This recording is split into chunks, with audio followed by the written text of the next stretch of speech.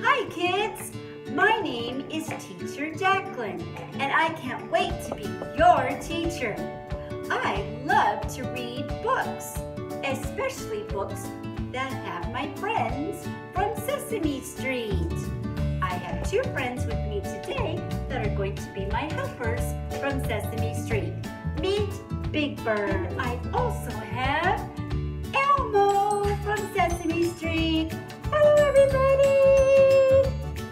We are so excited